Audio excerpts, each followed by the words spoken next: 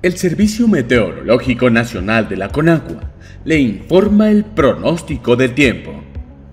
Este día, la entrada de humedad generada por la circulación de una zona de baja presión con alta probabilidad de desarrollo ciclónico, ubicada al suroeste de Colima y Jalisco,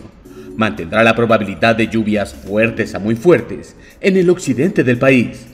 con rachas de viento de 50 a 70 km por hora y oleaje de 2 a 4 metros de altura en las costas de Jalisco, Colima y Michoacán.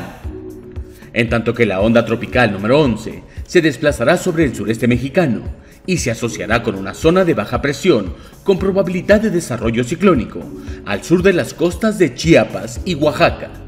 Ambos sistemas interaccionarán con un canal de baja presión extendido sobre el oriente del país y con el ingreso de humedad del Mar Caribe y el Golfo de México. Ocasionarán lluvias fuertes a muy fuertes descargas eléctricas y rachas de viento en las regiones mencionadas, además del sur del territorio nacional, así como lluvias puntuales intensas en Chiapas, Oaxaca y Guerrero. Por otra parte, canales de baja presión sobre la mesa del norte y la mesa central, en interacción con la entrada de aire cálido y húmedo del Océano Pacífico y Golfo de México,